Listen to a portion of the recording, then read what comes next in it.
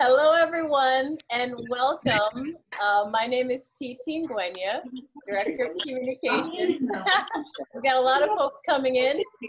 Hi, everyone, and we're delighted to welcome all of you to our craft chat this, this afternoon. This is a series where we get to chat with artists and curators about our exhibitions, our workshops, and and more. So we can bring you a little bit of the Fuller Craft experience while you're at home. So today we have an awesome guest. James Grashow is going to take us through a tour of his studio. You know make it louder? If anyone has any questions, we're going to do a tour with James Grashow and his, um, uh, in his, in his studio in Reading, Connecticut. It'll be wonderful.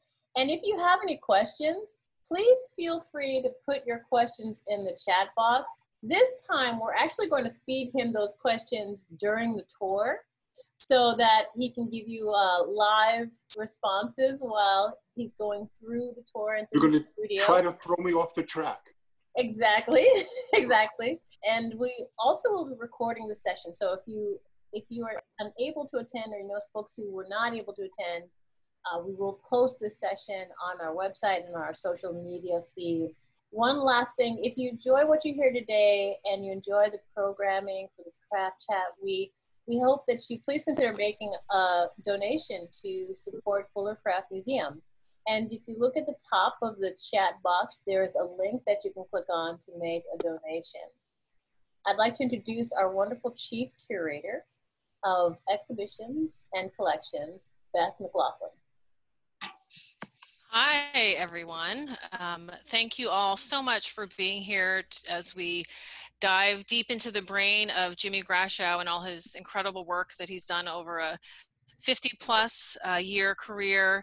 Um, I know it's been a tough week um, in this country, and I just wanted to thank everyone for joining us. Hopefully, we can provide a little bit of levity and, and some respite um, from all the trouble. So, we are honored to have Jimmy Grashow with us here today. I just told him Hello. I was going to take a trip down memory lane to, to uh, give just a little bit of background about his work leading up to the Great Monkey Project that's currently at Fuller Craft Museum and that we've been able to extend through the end of January of 2021, giving everybody a chance um, when we reopen to come and see it in person.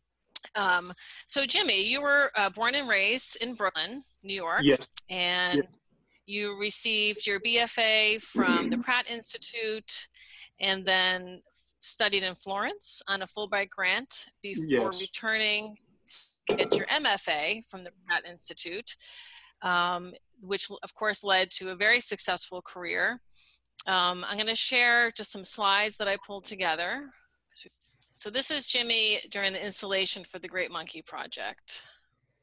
One, one monkey. And then as one monkey 79 more to go right. um, as i said early on in your career jimmy you did a lot of work in woodcuts and illustrations um, which was very well received they were published in a variety of outlets including the new york times and also for columbia records um, yeah. you did i know I, I, know several album covers for bands like jethro tull and the yardbirds and i know you're going to show us some of those um, on the tour today which is really exciting um, and this, of course, led to your work in cardboard, which I believe you began working in cardboard in the 60s. Is that right? I, I think I, I think when I was a little kid, my uh, my father had an appliance store in Brooklyn, and we had unlimited access to uh, refrigerator boxes. So I think my career started in cardboard when I was, uh, you know, when I was uh, a little kid, right? Yeah. Building Great. building robots, building robots, and uh, you know rocket ships and uh, making puppet theaters and and everything. So yeah. everybody loves cardboard. So right, I just uh, yeah. Uh, I just sort of stayed with it. And you've done a lot with it for sure. And I think when you started creating art pieces in it, you didn't look back. And there's a many series of works. Um, we're looking at here the uh, card birds on the left, and I know you've done many of those. The house plants on the right, we have, of course, the fish and your cityscapes, um, all of which is on your website, which is very extensive, and I encourage everyone to go and check that out. The city, I haven't seen the city for, for, for a long time. We did the city, um, the city piece for the New York City Boat Show. And actually, one of the Oh. great things about that is that every um, every few hours, Twiggy, the water skiing squirrel, you know, it was in a gigantic pool, you know, did a um, you know circle circled it in a little motorboat. So Wow. it was pretty fantastic. Wow. Did you get a video of that? No, I no, I didn't. You know, I, didn't. I should have. That we should play that. Yeah. Right. Oh. And then, of course, we have your fountain that was at the Aldrich in Ridgefield, Connecticut. Um, and I know you're going to probably be speaking about that on the tour. There's a lot to say there. Um, and then we have your larger scale installation work, monumental, on the left at the Peabody Essex Museum, and at the right at the um, It was High High Point University. High Point University. Yeah, that's Gulliver. Gulliver, I believe. Correct. Was- we called it the Great sort. Gulliver, Gulliver Project, and we, we I built it with about 50 students inside of a little room. We we shipped in the cardboard. Nothing was there when we started, and I think over a week, you know, we put the whole thing together like a uh, like putting a ship in a bottle. Nobody could figure out how we got the um, uh, how we got the giant the giant man inside this uh, Yeah. little room, but uh, we Wow. built it we built it right inside the room. Amazing. And then I know you've done a, a number of different types of animals throughout your career. You had um, one of your installations was Yazoo, a corrugated menagerie that was also at the Aldrich, and I, and I believe that, That- that- exhibition led to, Absolutely, yes. It was, uh, it was, I, I. and that led to the Great Monkey Project. Yeah. Right. I built the, uh, I built that for the Aldrich and it was, uh, a life-size menagerie of, of everything. We had a, we had a life-size elephant, which we called a pachyderm, a package derm. And there was a, uh, crocodiles and, uh, and camels, lions, tigers. And I did 12, um, I did 12 monkeys. And, um, th- they were fantastic. The way they articulated the negative space and everything, they were they were wild. And my mother was in a nursing home actually in um, in Stamford, Connecticut, and she sat in a dining room, not speaking to anybody. Uh, you know, for you know, think for for for a long time. She was very silent, and every um, I would visit her, and I was working on the project. I brought a cardboard monkey to the uh, to the dining room and pulled it out of a um, a, a black garbage bag, and the entire uh, dining room exploded. Monkey, monkey, monkey. So uh, I knew the monkeys were really like um, they touched a primal, a primal chord. So I um, I came home, wrote on my flow chart, uh, Great Monkey Project, and started Yeah. making monkeys. And within a week, uh, uh, this woman Rachel Lafo from the Decordova called me up and said, "We have a, a huge space. We have an opening coming up you know, would you, you have a project that you would like to do? And I said, yes, Great Monkey Project. And she said, go ahead, do it. And that was, Yeah. uh, that was the beginning of it. Yeah, and I saw that installation at Cordova, and it's one of those you know art experiences that's definitely um, has stuck with me all these years. And we started working together in early 2019, and I reached out to you about bringing the monkeys here to Fuller Craft because we have a Right. similar gallery space with a lot of overhead hanging area. And I thought, you know, we do a whole range of exhibitions, um, some of which touch on pretty um, challenging content. And I thought, oh, you know, this would be a good balance for us to have something more playful, more whimsical. Um, obviously, what you're doing with material and transforming this humble um, material into these transformative art pieces is really um, extraordinary. And similar to the response that you received taking the monkey out of the plastic bag, I mean, you brought a few to show us when you came to do the visit Yes. and I think all of our staff had the same the same reaction where it was just pure delight and joy, and um, you know we're so happy to have it here at the museum. I have some well, I'm, installation I'm, photos. I'm as I- thrilled. I'm thrilled that it was there. As soon as I walked into the space at the Fuller, you know, and uh, and saw the room, it just um, it just sung to me. It said yes. You know what I mean? It, all the monkeys uh, said yes. We want to Yeah. be there. So we want Well, to. Well, and here they are getting ready to go. Yeah, here they are getting ready to go. I love the little suitcase with Fuller Craft Museum Right. that he's carrying. Right. And then this is during the installation. You brought them all in. There's 80 of them, just about, Right. and laid them down in the great room. And were so generous and kind, and spoke to one of the school groups that came in about them. Um, yeah, and you know what I what I really do love about them is that they have this really remarkable whimsy and playfulness, but there's also this slight darkness to them as well. And some of the issues that you're touching upon working with cardboard is, of course, aging and our mortality and decline. That's and I know you'll talk more about that, but I just, yeah, I just wanted to say that there's so much power to the works and there it's it's not just kind of the playful sensibility that you see on the surface that there's a lot of um, important um, content going on here ev- so e- e- everything, like I said- everything, everything at its core is is about is about space and process, you know, and uh, yeah and and the monkeys address, do you know what I mean? Both of those with, um, you know, just incredibly. So, uh, you know, they're they're extraordinary to work with, Yeah. and uh, and they conform they conform and work almost in in in every space. Every space makes uh, makes makes them different. yeah well we're so thrilled to have them here and i'm going to throw it back to you and tt so that we can get out to your studio and see where all the magic happens so Okay. thank you so i think we're ready to go All right. Okay, so here we we did this part. We did this part of the of the talk in the house. This Hi, is Leslie. My wife, Hello, everybody. my wife, who I'm married to for uh, fi- probably 52 years. You know, like, you know, Wait, wait, so- I'm just, I'm the camera woman. right. We're ready to go. Okay, so the the house is this is orderly. You know what I mean, and and very very well put together. Neat, you know, neat. No wood chips. No uh, nothing nothing cardboard chips. And then the studio, we go we pass this little this little way, right? And uh, and here, but this this the- house and the studio, which is uh, pretty much all chaos. You know, everything works together. So I made a little cardboard sign together, right? So uh, anyway, so ta-da! Here's the studio. No, a million things, a million things going on here. These these dancers, these dancers are uh, they're about uh, 11. But let me just say before we just when I was a little kid, I used to um, whenever I felt comfortable in a space, I would I would pace it out, and it turned out that every space that I was comfortable in, you know, was about 30 by 40 with about with a 14 foot high ceiling.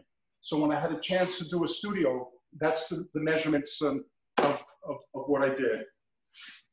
So 30, 30 by 40, my magic space. Anyway, these uh, these dances are about 11 feet high. You know, they were uh, they were made for a show at uh, the Cameron Museum in Wilmington, North Carolina, and uh, there were actually three sets of them.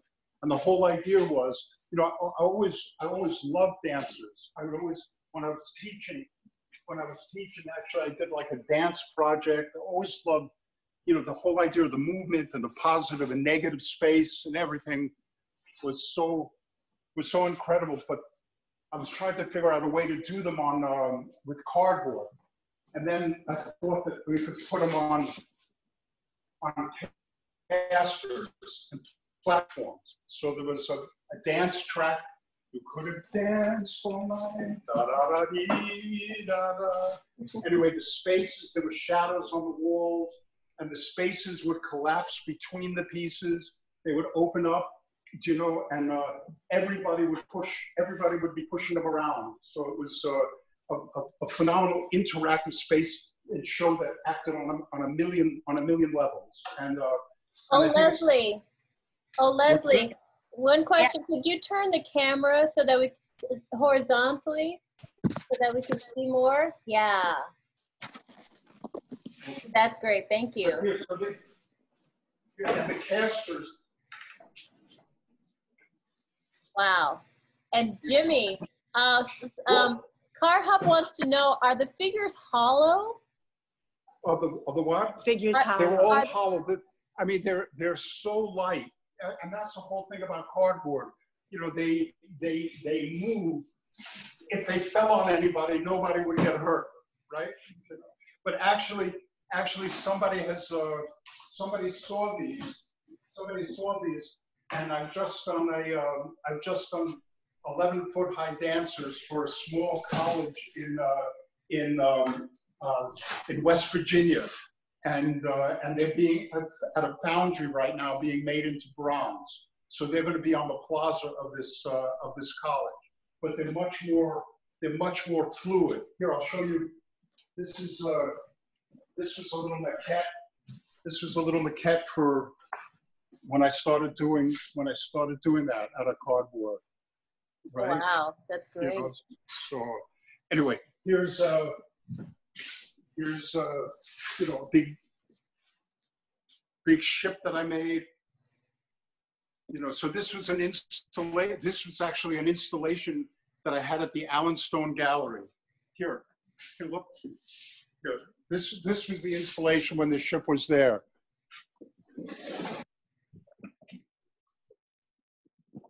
So I made, uh, the entire show was made out of woodcuts. Nice. So, Thanks, so Leslie. whenever anybody does a print, it's usually, uh, they number them. It's like one out of a hundred, one out of 200, whatever it is. But if you make a print, you can make, you can make a million, a million prints. You can make an ocean or a forest or a, uh, you can do anything. So I Oh. decided if I made, if I made three giant, uh, uh, wave prints, right? I could build an ocean and then make an ocean liner and then everybody could walk through it and get deeper and deeper as they got to the uh, as they got to the boat. Jimmy, Jimmy, So Ca- he was the boat. Jimmy, Jimmy. Jimmy, uh, Yes. Kath- Kathy Young wants to know if that was your, if that was uh, your first cardboard work of art. It was what? Was that your first cardboard work of art? The ship? No, actually, actually, no, actually, I don't even consider that. You know what I mean? Uh, one of the, the true cardboard works works. It was more. I think of this almost as a gigantic woodcut. I think the first cardboard uh, show that I really had was a show called the uh, Cardboardosauruses, which was a room full of cardboard dinosaurs. You know, and then uh, and then I think we did our first cardboard workshop from that. You know, everybody, all the little kids and everybody came into this museum. It was actually at the uh, at the Bridgeport Discovery Museum, and everybody, uh, all the kids made made cardboard dinosaurs. So it was fantastic. You know. Anyway, everything on this ship, everything on this ship was made from woodcuts. You know, all all of these were little woodcut prints. You know, so I thought of it as a gigantic, uh, as a as a gigantic print. Here, look, come to the front. You know, it's it's in a lot of disrepair now. But here, and before we did that, before that, I built a, a show called uh, come, come this way. Jimmy, where do you I get did a your, show called. Here, I, here, I did a show called uh, A City. Uh-huh. And where do I get my, the cardboard? where do you get your cardboard? There's a place in Danbury. They tell me if I, if I tell where I got it, you know what I mean? They'll come and kill me, right? But, uh, you know, but uh, I've been working with them. It's a place called Danbury Square Box Company. Every small town, every small little city, you know, has a place that processes cardboard.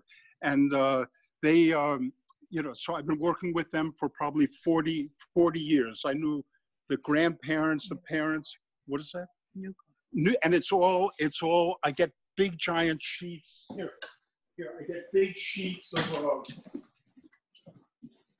you know, I get sheets of four by eight, four by, four by eight cardboard. Okay. You know, it's fan, it's fantastic. Cardboard is, uh, oh my God, I love my wife, I love my grandkids, my kids, you know what I mean? Uh, I love cardboard. we have, we have somebody, we have a mother who, uh, Allison Stabile, who took her, um, took her children to the Cardboardosaurus show. Oh God, I, I remember that. It's unbelievable.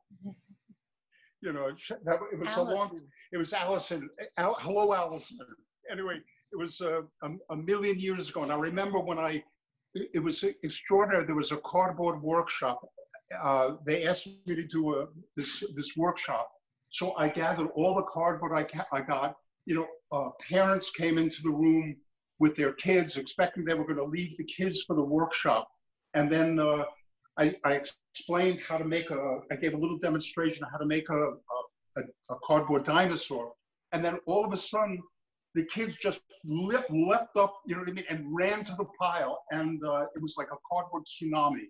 And the parents and the grandparents never, never left. It, the cardboard, cardboard is, uh, is uh, the perfect, anyway, let me just back up. Art, you know, I think art and creativity, I think the engine, I think the engine of art, the engine of creativity is play you know, and there's no more perfect playmate than, uh, than, than a sheet of cardboard. It's innately knows its mortality. To, uh, it's tied to humans. They say that uh, they say that 90% of every th- single thing on this planet has spent some time uh, of its part of its life in cardboard. So, uh, right. But anyway, so here, so this is the boat. These were these were part of these were these were prints, you know, one of the one of the, the cardboard prints. The the the fish, I was asked after I did after I did this this piece called The Fountain, which was very dark and very melancholy in a way. I think I, I needed something that was really more joyous and light. And I and I was asked by Mass MoCA to do a uh, a show. So I did 40 I did 40 fish, right? And uh, and the and they all hung from the ceiling and they swayed in the they swayed in the uh, in the breeze, and there was there's millions. There are a lot of fish that are gone, and there was a mermaid. So, uh, oh my God, here this now I'm seeing things I haven't seen for a long time. Here, Oh, this is, Jimmy, um, we got a Yes. question, two, two questions. One, uh, what do you use to glue the cardboard together? And also there's a request to show your album covers. yeah, I'll show I'll show them. You know, here there. Uh, I use um, I use basically Elmer's with Elmer's tape and hot glue. You can you can do anything if you have enough. If you have cardboard tape, uh, Elmer's, you can you can build anything in the world. You know anything, anything. Okay, and uh, here, so oh here, so just I just want to show you. This is a big giant. This was a big giant man, right? It was uh, it went 22 feet high, right, and was installed in a building on, in Manhattan. These were uh, these were the legs. These were the giant legs. You know, so it, it was, and this was the head. You know, what's that? And then, so anyway, so it was it was installed in the building there for I think about three, maybe three, four years, and then the building went bankrupt. And then they called me up and they said, uh, Jimmy, you know, we uh, have to vacate the premises immediately. Can you come and get? Can you come and get this? So I said, Yeah, I did. So I got a truck and a couple of guys, and we uh, we hauled the big man home, right? You know, back to its root. Okay, here I'll show you. Uh, so here, this is uh, this is uh, this is uh, more more cardboard. This is uh, the this is the fountain. So the fountain took about maybe five years, about five years to to make, and uh, and the, the the whole the whole idea the whole idea in a way was that everybody, if you're an artist, everybody works from beginning to finish. You know, you you start a project and you you work to finish, but almost nobody, you know, takes takes the process the entire way from finish to uh, to the end. So I wanted to explore that and uh, and explore my own my own fears about mortality and frailty and everything. So I decided not to compromise, not to back down, and to build, uh, you know, and to build this piece. So after after a short tour of the country, we installed it outside. Um, we installed it outside at the Aldrich Museum, and uh, and then waited for the rains to come. So anyway, there's a documentary about that called the Cardboard Bernini, which is uh, anyway, which is fantastic. So you know, Wonderful. anyway, here. So A few more questions, Jimmy, have come in. yes. Uh, so what tools do you use to cut the cardboard? And again, how do you fasten the pieces together? Well, I'll show, I'll, I'll show you, I'll show you everything. When I do the demonstration, I'll show you, but, I, but it's all eh, razors, X-Acto knives, X-Acto knives and a, uh, a utility knife. In the, uh,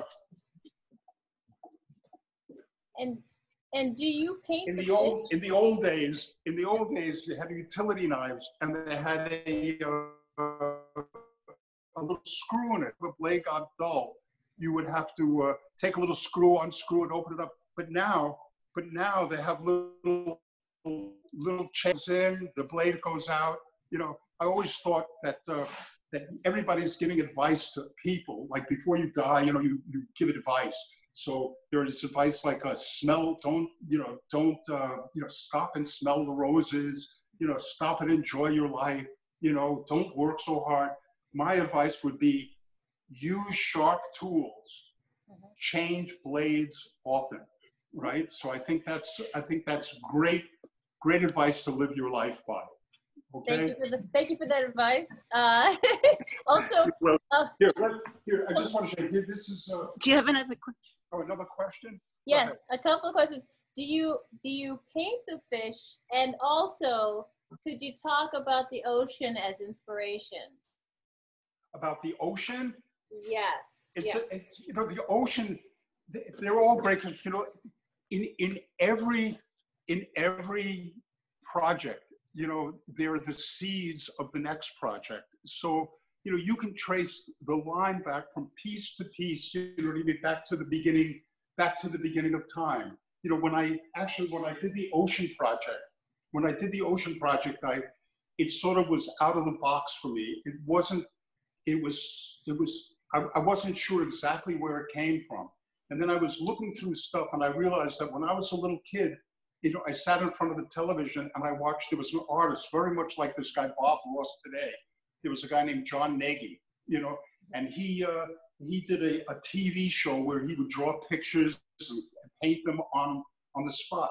And a picture that he did was, was an ocean, you know, and a dock, you know, and a, a lighthouse. And, uh, when I saw that picture, I realized that that's exactly in my adult life what I had done. I had recreated that in three dimensions. And uh, anyway, it's very difficult to know what the origins of, of, of everything, but everything, if you're an artist, you're sort of like a, a detective. You know what I mean? And you're constantly on your the trail of your of your of yourself. So anyway, here, let me here, this is uh these these you know, card, card, cardboard can be so incredibly, uh, you know, bold and, and fluid, but then you can do something so small. And uh, this was uh, all, all of the, all of the ridges in the cardboard are called fluting. You know, and there's E flute and F flute. You know, some of them are larger, some of them are smaller. So I decided to do a whole series of um, of, of birds, of cardboards, and uh, and paint them all. And the beauty of the cardboard is that you could paint, you could paint something on the surface, a color on the surface, and then paint a different color in the trough, you know, between between everything. So so you it was I, I thought of this not only just as a cardboard piece, but just but as a as a painting, like a tomb to James Audubon in a way, right? All you know, all American birds. Well, here this was a here, this is a a bird fra- a bird fragment. Are they painted on both sides? They, yeah, they're painted. Uh, they're, they're, you, I put a primer. I put a primer on on them, and then they're painted on both sides. And and what happens is because because of the fluting, you know, you could run a little wire into the flute and and and curve them slightly. So there's uh, this entire piece, except for the beaks, except for the beaks and the legs, was made from cardboard and twist ties you know, so there are garden twist ties that go through the center of all, you know, of all the pieces and tie everything together. Wow. But here's a fragment of a show I had a billion years ago, you know, a billion years ago, where everything was made out of thread. So these were all, it was a, a, a, a grove of seeded trees, but everything was made out of thread. So that was uh, a little part of the only thing remaining from that. We, we had So- someone, we had somebody who was wondering if you did work in other mediums. Yeah, so, you know, yeah, here these wood, here the- I do the wood cuts, you know. So here, these were, these were wood cuts and, uh, when I went to school, when I went to school and they gave, I took a class at Pratt, they gave a class in woodcuts. And everybody else, for some reason, when they started woodcutting, all the tools would jam. But for me, for some genetic, you know, who knows, cosmic reason, the tools just uh, were so fluid. So here, this is a, a wood cutting process. This is all, this is all Swiss pearwood, which if you do woodcuts, Swiss pearwood is, uh, I said I love my wife and I love my, uh, my grandkids and my kids and I love cardboard. I also love Swiss pearwood. You know, Swiss, it's, it's phenomenal. You can cut cross grain, you can, uh, you can do everything. You know, and here, these are, these are uh, tools. What was the worst um, um, injury that you've ever had? Is that a question? Yes. You know, like a, anyway, anyway, there, there, everybody that knows this place, it's like a, it's like a danger zone. There are razor blades, there are razor blades all over, all over the place. Oh, Leslie, Yes. could you could you focus in on that that the woodcut and the Yeah. fight? What's going on there? Here, this is, here, this is all, uh, these are all vegetables. These are all vegetables fighting. Here, here's, here was a drawing, here was the draw, a drawing for it. And I don't know if you can see that, but they're all, all vegetables, all vegetables fighting. And we're- Okay. we're, here, you know, here's the corn fighting the zucchini, you know what I mean? A little, uh, Yep. asparagus being beaten up by two tomatoes. I think tomatoes, you have to have two tomatoes. Tomatoes are tough, you know, but uh, potato beating up a little, a little, uh, a little bean. You know, I here's uh, see, here's see. broccoli, Uh-huh. broccoli uh, getting beaten up by corn. Anyway, we're calling this. This is called vegetable. Vegetable. You know. Anyway, anyway, here this is here. This studio is a dangerous place. So here, these are just I had millions and millions of, uh, of, of, of razors. So one time I was rolling around on the studio floor, you know, looking for something. And I felt a little pinch in the back of my leg. And I went into my wife, I said, is there anything back there? She said, yeah, you have a little teeny cut, you know. So all day long, it just got worse and worse and worse. And then in the evening, I went to the, uh, to the emergency room in the hospital. And, uh, you know, there were people there with deep coughs. There was a guy with a gunshot wound. And I had this little teeny cut on my, uh, on my, the back of my thigh. And uh, anyway, the doctors came out, they took an x-ray, and evidently when I was rolling on the floor, I swallowed an entire razor blade, you know, slipped into my leg. That was the Oh worst, that was the worst injury. Anyway, these are, uh, these are house plants. Those house plants are amazing. Can we close in on them? Can you Yeah, go close up? Here, so I've done loads of these. They're big, beautiful bouquets. These are just, this is, this is just starting. This is gonna be um, a beauty, I think. So everything I'm doing, as you get older, you don't want to waste time in a way, you know? So everything I do, I want to, everything I do, I want to, I want it to be a jewel. So, Oh, wow. uh, I so love here, the these are, one. That is amazing. anyway, here, so here, these are, you know, see, these are all part of this, Nice. this, uh, and, uh, anyway, every, t- every chance I get, every chance I get, I do, I carve leaves. So these are all carved from, uh, these are all carved from basswood. I wish, That's awesome, Leslie. I wish you were here. I wish you were here. So if you could feel, if they start out, they start out, you know, with a, as a block of wood, and then You're putting, Oh, they, I'm sorry, I'm showing my wife. Yeah. They start out as a block of wood and then you carve them and then, and then paint them. So Uh, they're, but they feel like little potato chips. You know, they're, they're so sensual, you know, and beautiful. And it's a, it's a great thing. It's a great thing to do. I think if everybody in, in Congress, you know what I mean, or the Senate, you know what I mean, would sit around and carve little leaves, I think there would be peace and harmony in the world. We'd all be together, you know? So, uh, anyway, here, these are, So I said in, in each piece are the seeds of another piece. So while I was doing the house plants, I thought it would be an unbelievable idea to have, you know, fish come out of the uh, the plants. So I'm building a thing I'm calling a florarium, you know, and this this is actually I did a big giant one, you know, uh, and uh, this is uh, this is uh, this is smaller. Oh, this is smaller, but it's all here. These are millions of little fish. Oh yeah, hold still. Hold still. It's tough for me to hold Wow. still. But oh, here, but here, wow. but there's here. I'll show you. Uh, just So Jimmy, a question for you. With so many projects, here. so Um, this is here. Just want to show you. This is one. So each one is carved out of wood, and then I put the uh, the little the fins on, paint it, and then and then attach it. But all of these have to have leaves. You know. So I'll show you. Uh, these are these are the leaves being carved, right? So here, this is this is all uh, a leaf.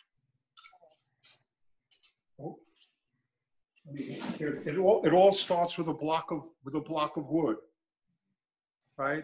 And then, uh, and then you just start, you know what they say, uh, whit- uh, whittle by whittle, uh, whittle by whittle, you know, inchy by inchy, Leonardo da Vinci.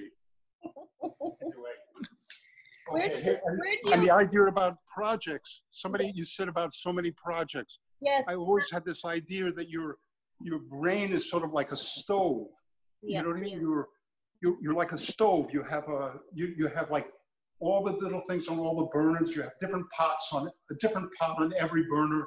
You know what I mean? You have uh, something in the oven, and uh, and every day when you go in, you put your work clothes on, and you go into work, you stir whatever pot you know what I mean calls to you. You know, and so as things evolve, they there's an urgency about a piece. You know what I mean? And it calls to you more and then it finished like this piece is uh, is rat this piece is ratcheting up. It's getting uh it's it's getting closer and closer and as it gets closer it demands more and more attention. It's a, you know an artwork is like a spiral.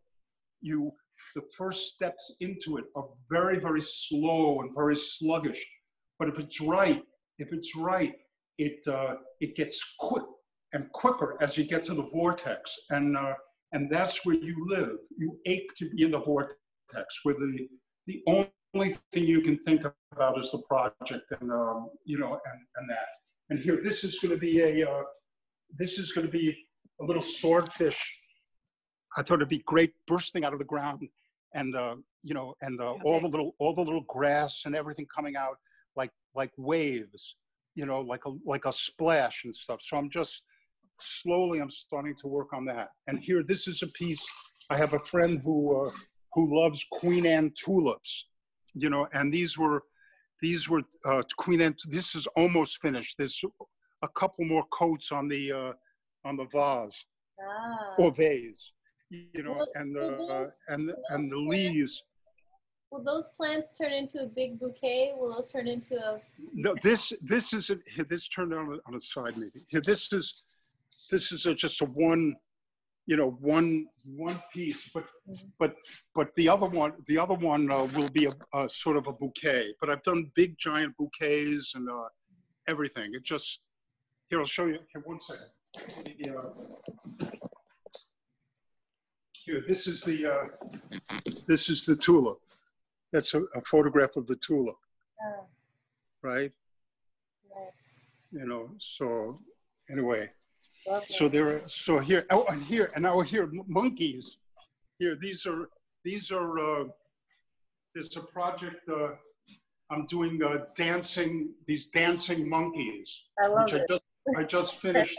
Uh there were actually two other groups. These are these are all scheduled to go to the foundry and we're all scheduled to go until you know the corona.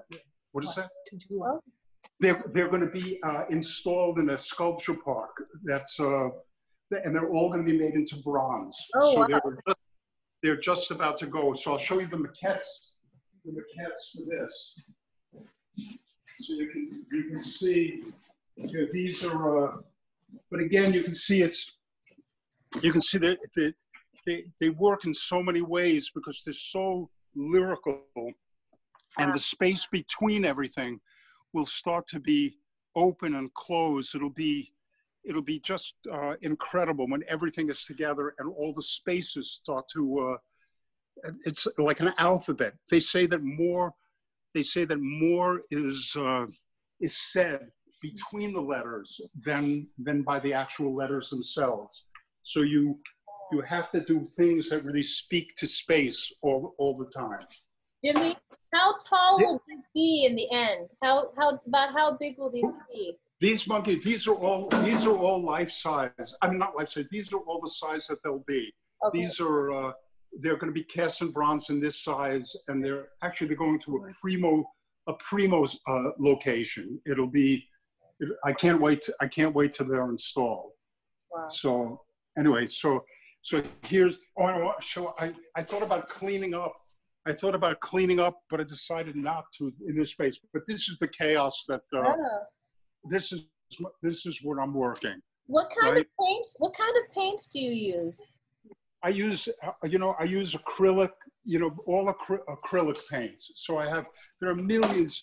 Oops, there are millions of uh, you know you know millions of millions of paints here. Here goes here. Neat. I love those, Leslie. These are all carved. These are all carved out of. See, they're all carved. This is all just started to be carved. Here's uh, this is millions of uh, acrylics, everything. I I once um, I once was at a, suppo- a symposium for for artists, and uh, everybody was sitting around in the group, and they, were- you were asked to introduce yourself, and they would say, "What kind of sculptor are you?" One guy would say, "You know, I'm a I'm a sculptor in wood." You know, another guy would say, "I'm a sculptor in metal." You know, somebody even said they were a sculptor in light. You know, and then they came to me and they said, "What what are you, what are you working?" I said, "I'll work in anything anything that makes it work." You know, anything. So here, this was a, a carve that was going to going to be a little barracuda that's going to go into the uh, florarium. All right. Okay. Jimmy. Here's a little florarium sign uh, made of, you know, made made by my friend Rick Wastrom. Here, millions of millions of prints. Oh wow! Wait, show that again. Oh, Oh, oh, here's a. Oh, here. This was a poster from the De Cordova. wow. you know you know so but oops let me show you I don't know. oh here's here's me as a little boy going to school with my little short pants right you know anyway Jimmy, um, we have a question about how much, how many hours in a day do you spend in your studio? I I uh, I regret getting I regret getting older, you know, because I'm I don't have the same stamina. But I, I would work all day. I get up in the morning and and uh, you know my wife is saying ten hours. I don't At least, at least yeah. whatever. I this I this I it, for me it's like breathing. It's it's work, but it's uh, it's where I where I the place that I want to be and the thing that I want to do. So uh, you know, I, I work all the time, you know, all the time. So and the the little stuff, you know, all of the the little work is like uh, is like uh, contemplative. It's like Gandhi weaving. It's meditative. It slows you down. You know, I talk too fast. You know, I think too fast. So the the work is is is very very meditative and um, and and slow. But the but the sculpture, the the the cardboard is very very physical. So you exercise all parts of yourself. You know, the the physical part and the uh, you know and the slow contemplative part. So here, so here, this we're to do a you know this cardboard workshop. These were all these were all these were all forms that I was going to do bring up to the Fuller for the cardboard workshop, and uh, you know that was. Uh, but we're going to do that in the fall, right? So I don't know. Do the Should I do, or should I do this demonstration now? or- Yeah, could you show us how to make one of I'm your cardboard gonna- oh, Let me do this. All right, here, a hot glue gun. If you're, you know, if you're an artist, you have to invest in tools. So this is like an industrial hot glue gun, you know. Down.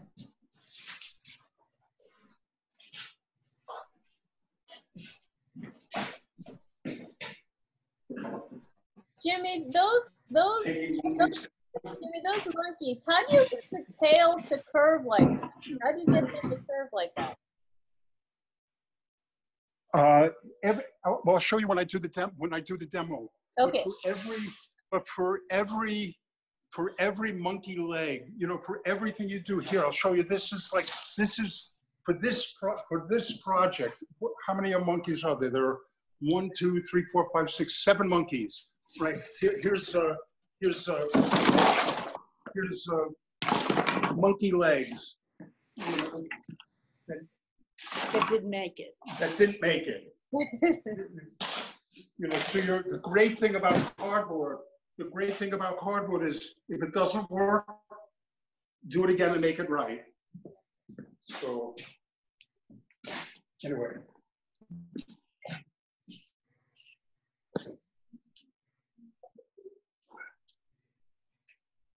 Jimmy, we have a question about your influences, by the way. Someone, um, besides, Your influences. besides Francisco Goya, who, who, which artists inspire you?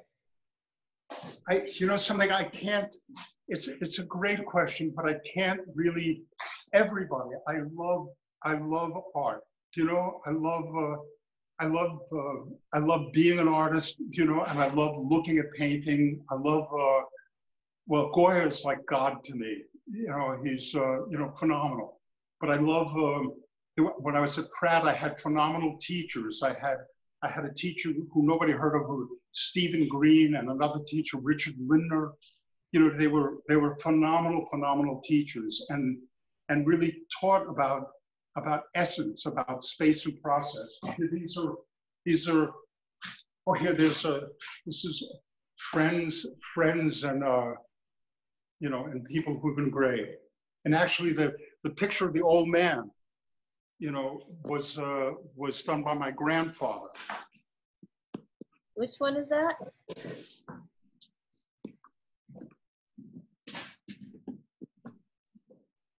Oh, okay.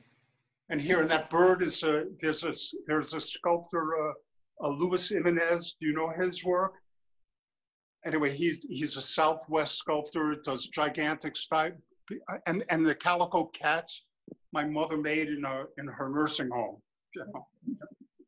And here, and this, this is all pictures of, uh, you know, friends and stuff. Oh. Oh, here, here,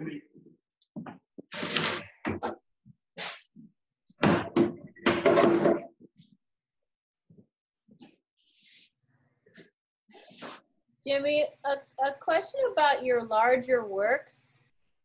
Um, do you have do you have an assistant that helps you with any part of the, an the larger projects?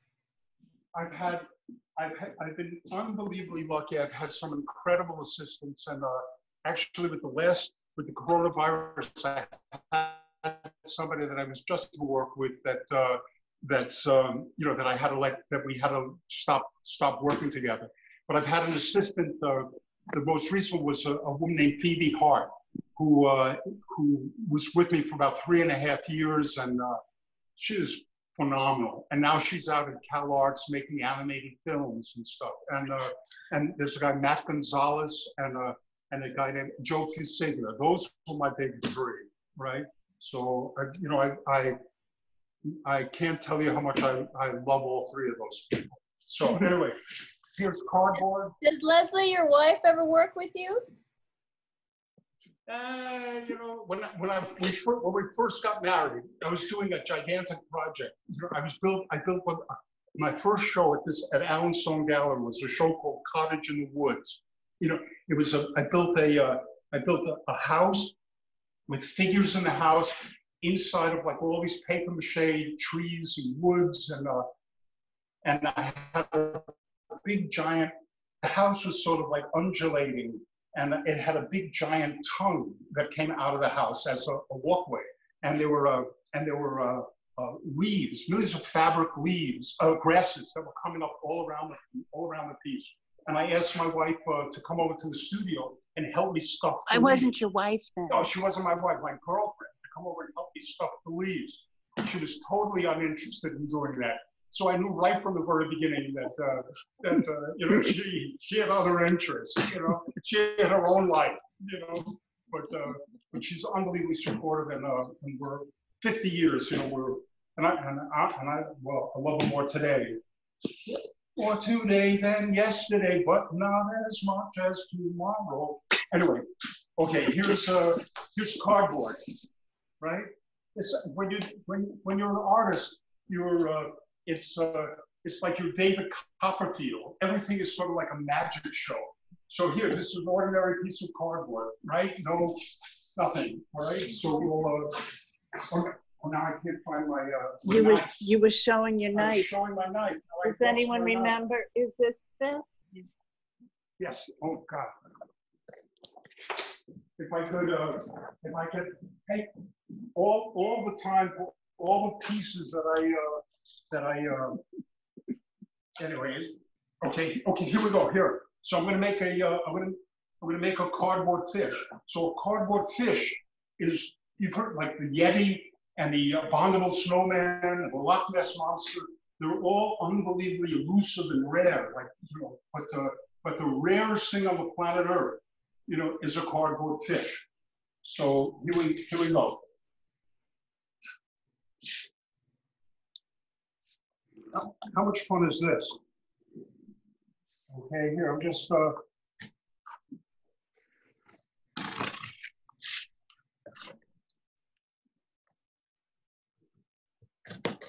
perfect. Perfect. Okay, here. So now from from from nothing, from nothing, here here comes a uh, here comes a fish. I feel like Julia Childs doing this. When when she cut herself with Saturday night uh, skit. Saturday, anyway. Ask me another question. Well, you know, Jimmy, you're getting a lot of uh, love and praise from uh, in the chat box. There is um, uh, Bob Marty who who uh, mentions that you are a very influential professor at Pratt and elsewhere, and uh, your students always remember your powerful classes to this day. So I thought I'd share that with you. That your impact can't be overestimated. So It can be overestimated, I think. but thank you. I'm so insecure. I'm so insecure, you know, that um, that uh, nothing can cure me now. You know.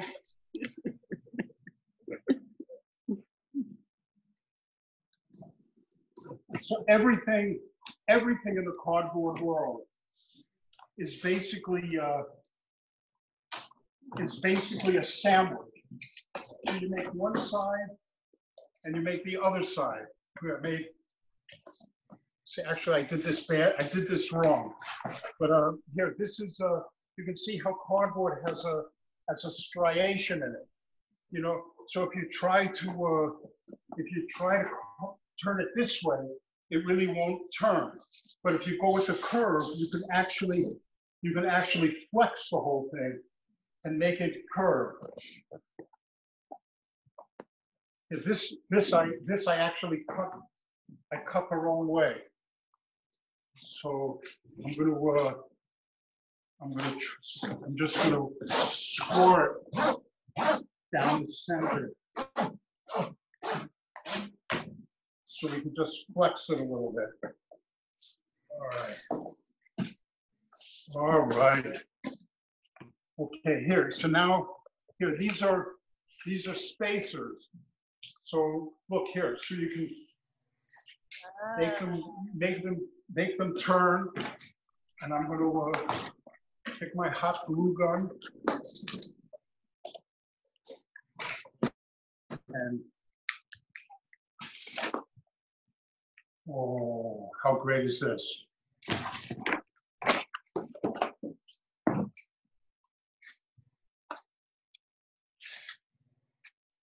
Okay. Ouch, out, out. I'm only kidding. Jimmy, have you done this project with your grandchildren? Ha- Are, are, are you doing art with them or? You know, something, I don't, I haven't, you know, I don't think I've done things with them. I actually, I've gone, I've gone to their classes and, uh, you know what I mean, and done projects, but they, they're, they're here so much and they see so much, they, they sort of take everything for, for granted, you know, but, uh, but I've done, I've done, um, I've done, uh, projects all, you know, all over. And when I'm doing this, you know, I ask, I tell the kids that I've done, if you can name something, I built it out of cardboard. So I said, go ahead, you know, like name something. And they'll say things like, uh, like, have you ever made a, a horse? And I say, yes, I made a horse. Have you ever made a car? I say, yes, you know what I mean? I've made a car. And then they start going crazy. They say, have you ever made a aardvark? You know, okay. no, I haven't made an aardvark. So anyway. Okay, here, so that's one side. Here now I'm going, I'm going on the other side.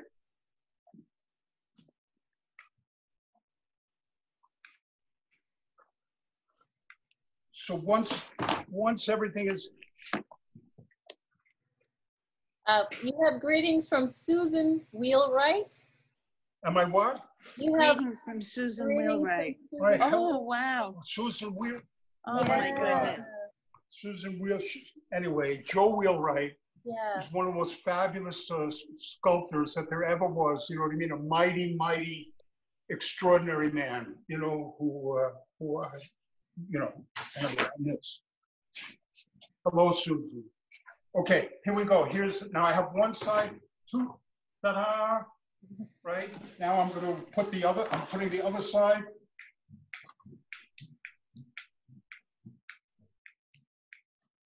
If you if you can't if you can't play if you stop playing if you want if you if you're an artist if you want too much from your work you know you want success fame money you know what i mean? You you sort of defeat the whole purpose. The, the whole the whole thing is about uh It's about what? you know something there. It's about what? I, now I, I don't remember absolutely don't remember. I don't know what it's about. That's what it's about finding out what what what it's all what it is. Anyway, okay, Jimmy, here, look at this. From nothing, from nothing. Okay, you now we uh let's say oh here. Let's uh Jimmy, someone says that Elon Musk should seek you out. what does that say? Say that again? Someone mentioned Elon Musk should seek you out. Oh, What about Elon, Elon Musk? Musk. I'm Eli Musk from cardboard. I am. I am. and Okay, um, here, here, here, this is, this is, uh, how can you make a mistake? Do you know what I mean? I mean, how do you, how can you make, how can you make a mistake? Everybody worries about, everybody worries about everything. Like, how do you make, how do you make an ocean or anything? Everybody, everybody knows, here, that's, that's, that's an ocean. You know what I mean? I mean, everybody knows, everybody, you know, everybody knows that, uh, you know, you can, here, here, here, here, you know, here, that's a, a, a rhinoceros. Do you know what I mean? You can, you can, uh, you don't have to worry about reference about anything. You know, the Nike, the Nike ad is like the greatest ad ever. Just do it. You know, just do it. Whoa, whoa, whoa. I'm gonna make this, uh, a little bit shorter. so if, if you cut You ask me another question, I'm, uh, Jimmy, if you she's cut, asking. oh, you you are asking, I'm sorry. if you cut a piece that's not quite right, do you just make a smaller fish out of it? Yes, you, yeah, why not? But do Absolutely, you? No. Absolutely. The thing is, you know, that, yes, you can make, there's no waste, there's no anything. You just focus on here. Okay. Oh my God, here, look. Aha. Whoa, already, you know, let's say, uh, okay, here, now, now what is this fish? Let's say, uh, rhino. What is a fish? What, I'm gonna get the.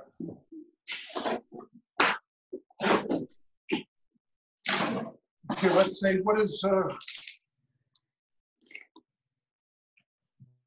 hold it. Oh, yeah, this looks, this looks great. All right, Oh, you have greetings and love from Aviva and Barry. Oh, very nice. what is that? Aviva and Barry Yes. Kesselman. That's great. And and somebody asks, how do you and somebody asks, how do you preserve your work? How do you preserve the cardboard? You know, if, if you, you know, first of all, do you know what I mean? You know, you can preserve it with, uh, you know, with, uh, by coating it with like a, like a, you know, primer, primer sealers, you know, you can build up the surface. The, the things last, last forever, but like the fountain, the whole thing with the fountain, the whole, the, the Afghan Buddhas lasted 2,000 years until uh, they got blown up. You know, the World Trade Center, everything is finite. You know what I mean? I'm not, I'm not gonna worry or I wasn't worried about anything. And then all of a sudden, people want this stuff in bronze. So uh, everybody screwed me up in a way. You know, yeah, I had this whole idea and this whole philosophy, and then all of a sudden, the bronze pieces started coming along. You know, so uh, it's very. Anyway, Ashes to ashes, mush to mush. ashes to ashes, mush to mush. Okay, here, what is this? It's like a What do you think that is? It's like a peanut. It's like a it's like a Excuse me? Excuse me, it's a fish lip. This is fish lips. sorry. Here, fish lips. You know, your little Oh, yeah. fish lip. Okay, here, let me, okay. Now I'm gonna, uh.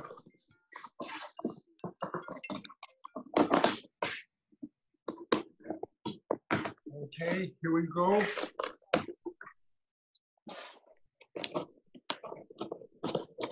Here we, oh my God, this is, looks fantastic. Ah. Fish lips. Okay. Okay.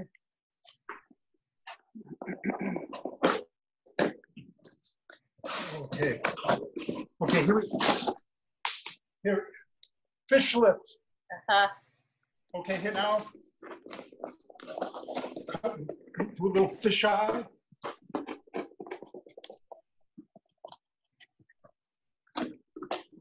Little fish eye.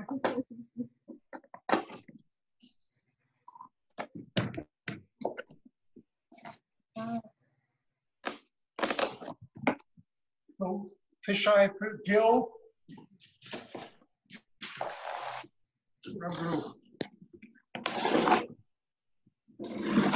You have a you have a, a shout out from Robin Miller who said that you are a phenomenal teacher.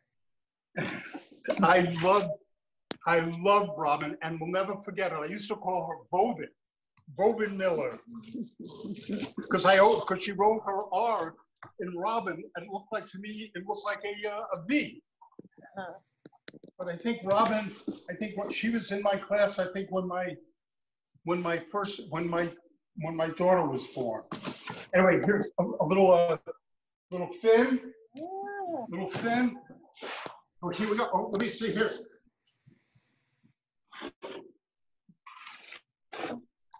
Let's say here. Let's say, oh my gosh, here we go. This is looking, this is looking fantastic. All right. Here, I'm gonna make this, uh, I'm gonna make this a little more, uh,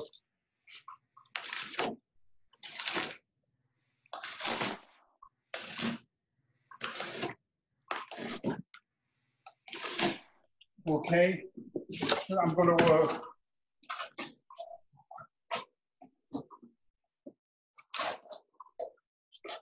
okay, slip on the top.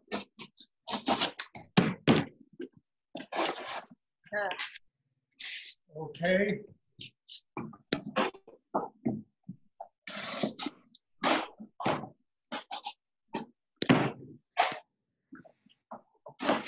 Oh, oh, oh, oh.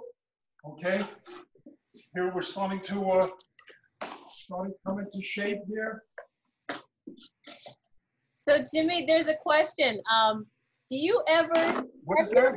have you ever given up on a project? Have you ever said like, this is this is the last monkey, this is the last fish?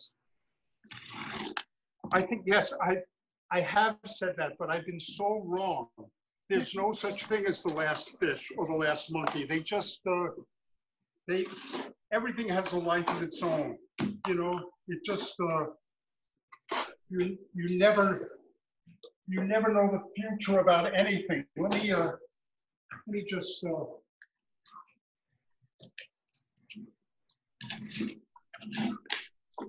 let me just put one thing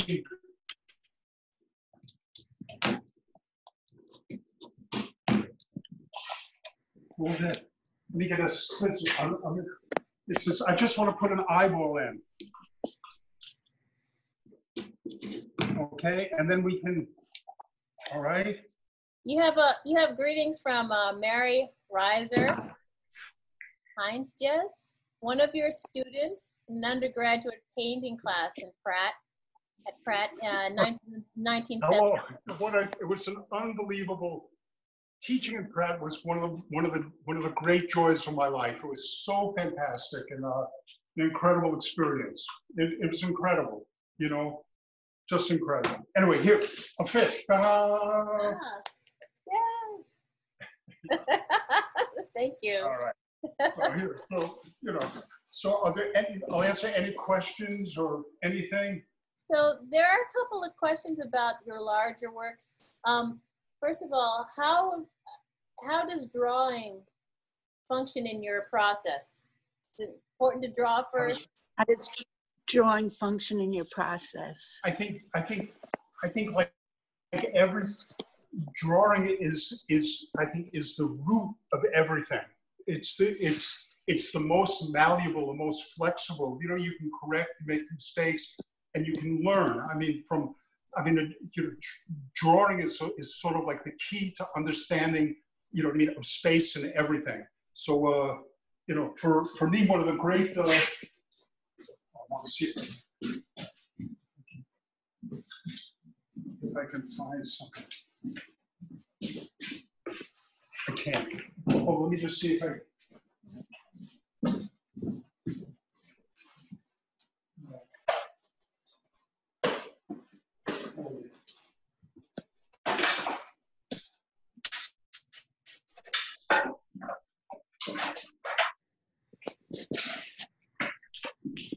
Here, I'm sorry.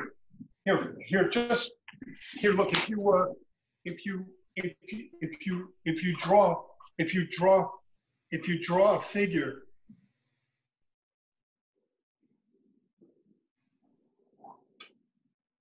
You know, with, in the drawing, you know, you start, you start to realize that the space, that, that the line around the figure becomes, uh, becomes a barrier. You know, becomes a barrier for everything. So the space, everything in a, in a drawing, everything in an artwork has to flow. So you can do the same, you can do the same figure. You can do the same figure and let it, and let it breathe, and let it breathe in the space. You know, so you have to make things breathe. Because the key to learning about breath in, in, in a work. So drawing is essential. It's Okay. essential. Not, not, not for, uh, for doing portraits or things, but for understanding the, the basic way that an art piece works, right? And, and when you're working on a large scale piece, Okay, when, when you're working on a large scale piece, um, do you make patterns to scale or sketches that are projected on an enlarger? How does that work? No, I just, you know, the great thing, the great thing about cardboard, you know what I mean, is you just get a piece and you just cut it out. If, if, if the leg doesn't work this size, then you cut it and you make it bigger. You know what I mean? You, you get it, you put it up, you put it up, and then if it doesn't work, you know, you know, get another piece of cardboard. What is that? What about the woodcuts? you know? I should show them. No, uh, uh, do you do a drawing for the I, sometimes, sometimes, you know what I mean? But the, the, the thing is, you know, I'm, I, I did so much illustration in my life, you know what I mean, that I, I, I'm one of the few, I understand the difference between an illustration and a, and a work of art. Do you know what I mean? If you're an illustrator, you know the finish before you start. Everything that you do, do you know what I mean, is directed towards that finish. You know, you know the space that it goes in, the audience it has to meet, you know exactly what it is. But if you're an artist, you you don't want to do something that's too comprehensive in the beginning. You want it to be an adventure all the way. You want to you want to you want to arrive at the conclusion. You know, it should be a surprise and a joy to you. You know what I mean? It's a it's a joyous adventure. You know, it's it's it's something else when you know the conclusion before you start, right? You know, so Wow. Ah. So um, uh, we have another, a couple other questions. Uh, someone wants to know if the pieces that are in your studio, if they're all commissioned, and if one wants to buy a piece, how do they go about it? you know, I there were a, huge amount. I've done almost everything is a is a commission, you know, and I've just actually finished this gigantic wave of, of commissions, and now trying to finish up, uh, you know, some other things. But uh, but everything might, you know, just call just call me. Do you know what I mean? Or, and my wife, my wife who takes care of everything will take care of, you know. Um, can you can you repeat that you did a wonderful explanation about the contour line as a boundary, and we, someone wants you to repeat that that explanation, please. Could I sh- repeat The that again? contour line as a boundary? It's, it's just, it's just, it's just in, in, in a work, in a work of art. When, when, when, when, a, when people start to draw, you know what I mean? They, they, maybe it's a crossover from coloring books or whatever. Everybody, everybody believes in line. You know what I mean? You know, and line is the most powerful. It's, it's like a, an incredible, powerful tool, but it's not number one. It's not the first thing. The first thing is space, not line. Line is a servant to space. If line becomes a dictator, you know what I mean? If line shuts off and chokes the air in the space, you know what I mean? Then it destroys the drawing. So you have to approach line in a way that allows the drawing and a space to breathe, right? That's uh, that's the best way that I can put that. Wow, that's wonderful. We have a lot of thank yous here for bringing your wisdom and and um, someone mentioned here spirituality is very much tied in with your work as well. Um, I don't know if you want to speak to that. Spirituality is very much tied in with your work. Someone made It- it- it- it's it's it's everything. You know what I mean? You know, it's all part. It's all part of it. You know, it's almost so it's almost so ridiculous to even say it, but everything is about a search for who you are and what you are and what and and to find some and to find meaning. You know, you you you're looking for you're looking for meaning all all the time, and I think uh, I think I think I think being an artist is uh, is uh, is the most spiritual thing that you can you you can do. You know, it's uh, it's I think it's ho- in a way it's holy work. If it wasn't so uh, self-absorbed and uh, anyway, you know. Anyway, yes, I think you know. Jimmy.